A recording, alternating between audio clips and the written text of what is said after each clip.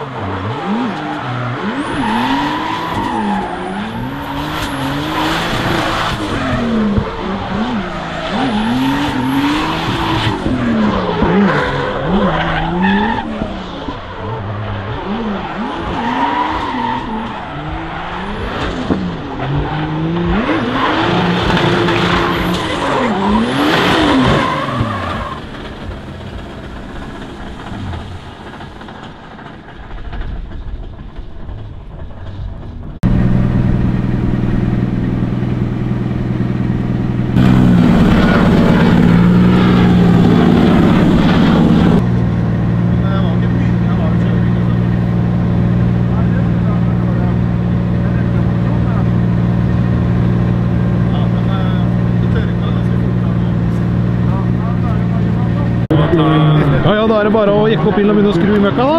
Ja, det er ikke noe vits å skru når du ikke har noe deler. Delen, men du vet ikke hva som er galt. Nei, men jeg vet at noe er galt og jeg ikke har en eneste reservedel, ikke en skrue med meg. Det er ikke noe vits å skru. Ja, men det her. Bare å få den opp på hjulet her nå. Jeg har jo ikke bukker engang. Hæ? Jeg har ingenting. Du kommer på treff uten jekk og bukker. Jekk har vi med. Ja, da går det jo da. Nei, jeg ligger ikke med bare Sett jekken. den på noe hjul, da. Du har med reservehjul. Ja. Det er ikke noe vits i.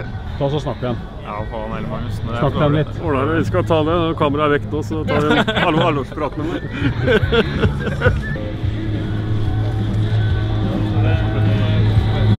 Det er kortvarig moro for Ola. Helt testrun og diff-havari. Det hører med.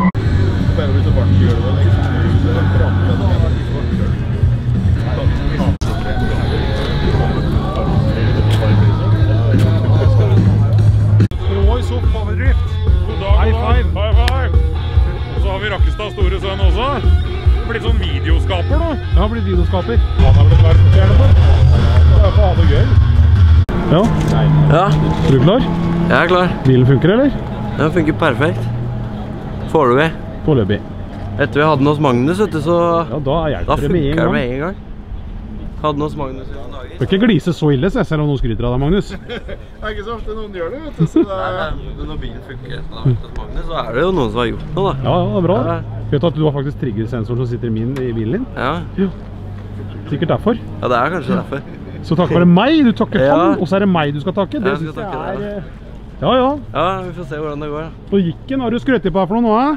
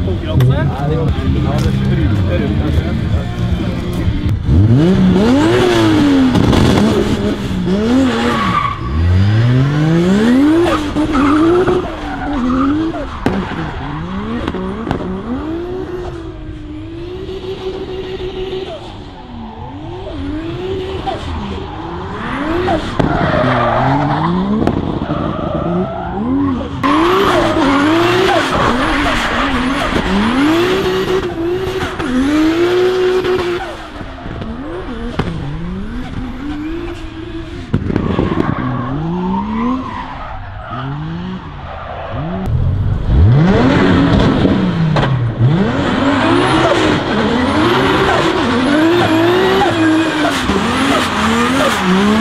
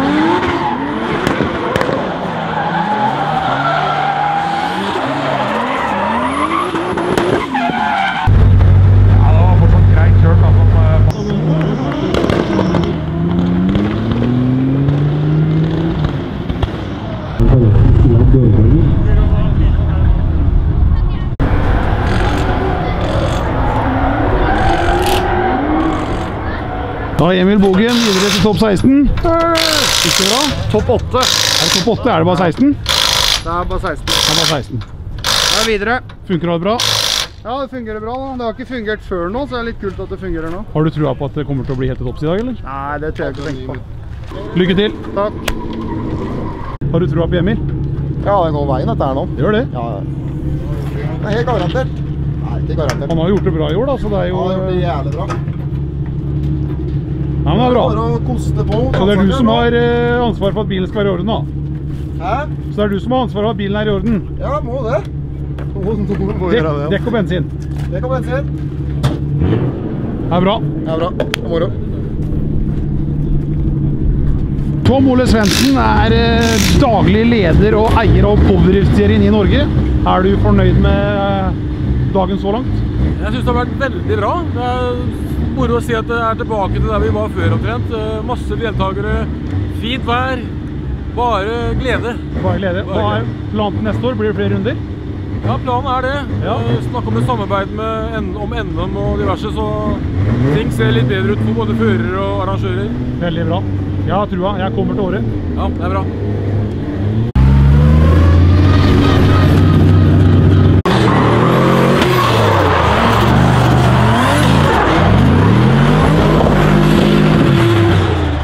Uh!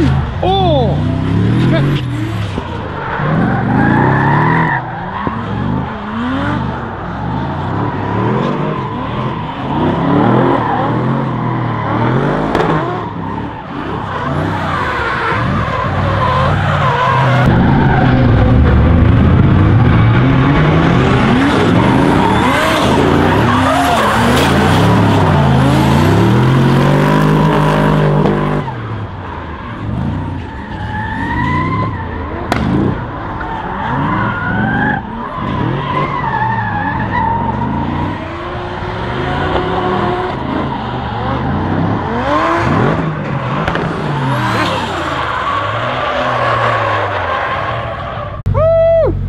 Videre til topp fire. Helt konge. Dritbra kjørt. Dette går til toppen. Dette går til toppen. Ikke helt ennå. Ikke helt ennå.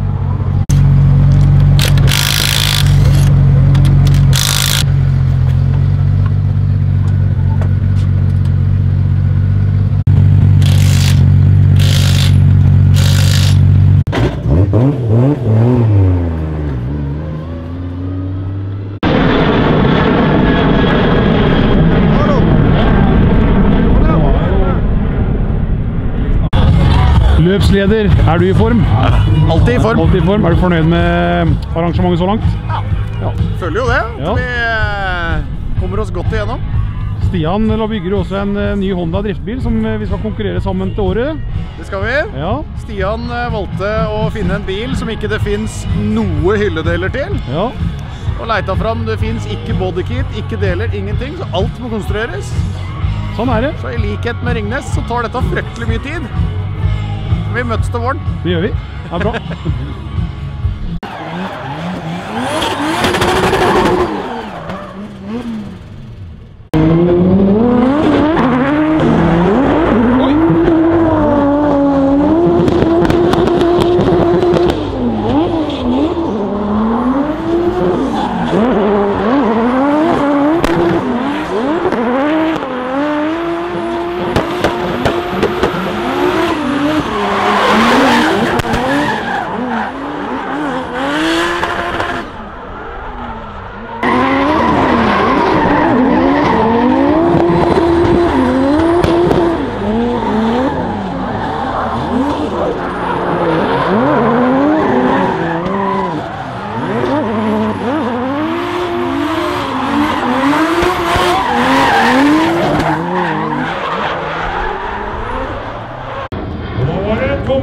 Emil André Bogen der.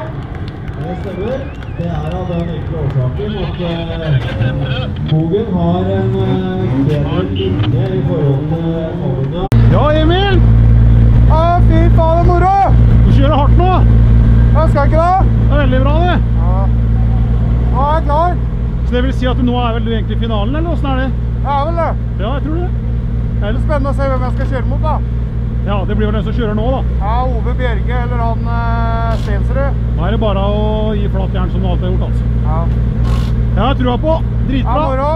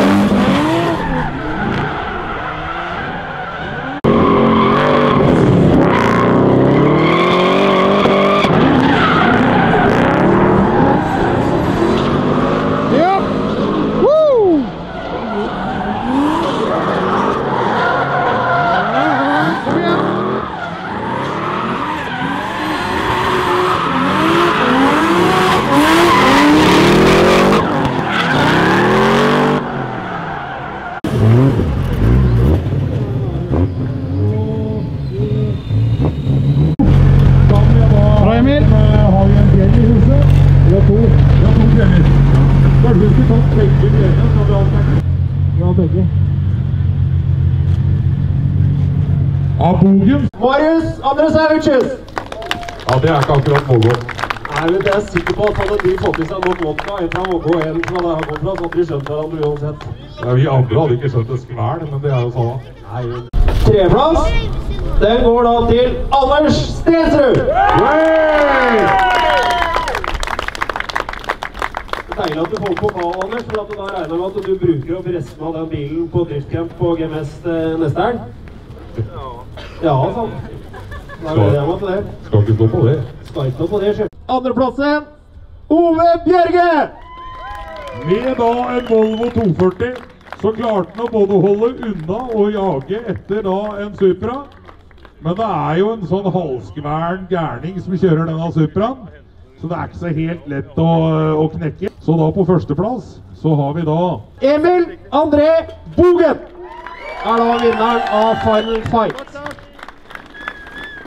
Ja, hva skulle vi Som nok må forsvare seg litt mot knektene her.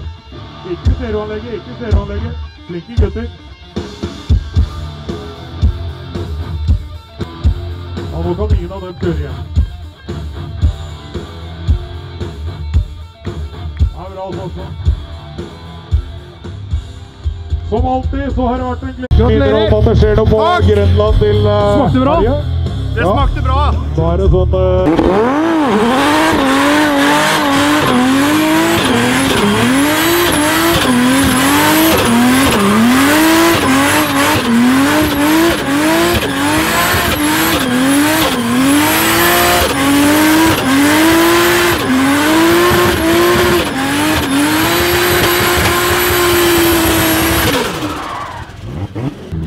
Gratis. Bra jobba. Takk, det er moro.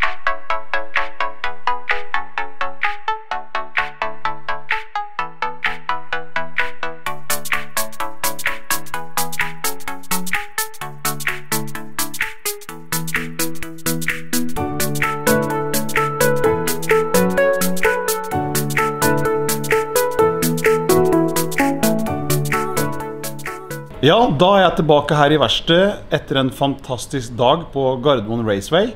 Der har det vært eh, Powerdrift Final Fight, og vi har fulgt eh, Emil Bogen eh, litt i dag, som faktisk vant løpet. Gratulerer så mye. Du er helt sinnssyk Grom-sjåfør.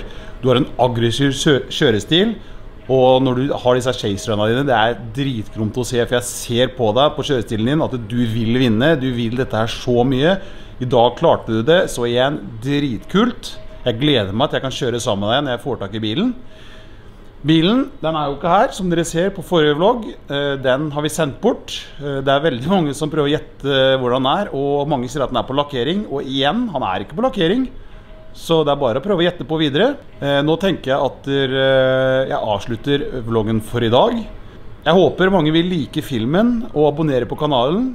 Og jeg håper at mange kan dele kanalen min eh, rundt på Facebook, så flere kan få med seg hva jeg gjør. Det blir veldig mye gromt framover. Det nærmer seg, nærmer seg mye med bilen nå. Og i hvert fall der han er nå, det blir eh, veldig veldig bra. Jeg gleder meg til å få den igjen. Eh, det blir et par uker til, tenker jeg. Så igjen, del filmen, spre den overalt på Facebook, så mange får med seg det her. Så skal jeg sørge for å lage mye bra film til dere framover. Så da snakkes vi. Ha det bra.